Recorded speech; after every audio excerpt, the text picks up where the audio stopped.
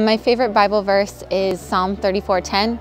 which says, "Even strong young lions will sometimes go hungry, but those who trust the Lord will lack no good thing." And I think that verse is really applicable to my life because my life hasn't gone according to my plan, but it's gone according to God's plan, and I know that if I trust Him, He's going to put me where I need to be, and my life is going to be better than I even planned.